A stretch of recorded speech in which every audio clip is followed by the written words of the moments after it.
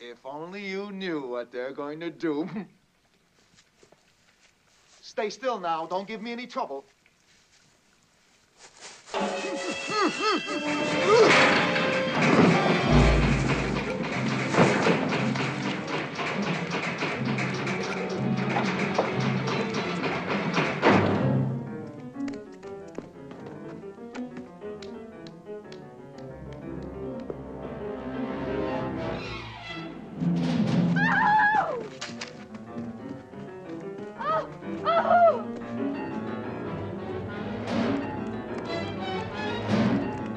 Weep if you must, but make an end of sorrow.